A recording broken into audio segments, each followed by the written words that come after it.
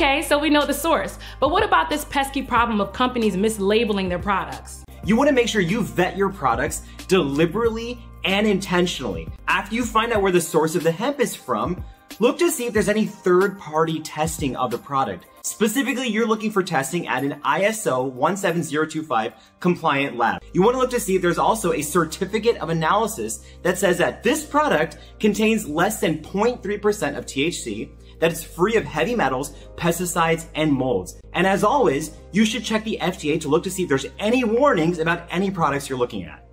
And just because they say it's all natural, CBD can still have some nasty side effects like injury to your liver, or it can interact with certain prescription medications like blood pressure meds.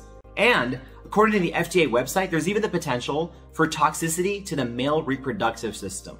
Additionally, if the products are mislabeled, you may ingest higher or lower doses of CBD, and you may take more THC than you intended.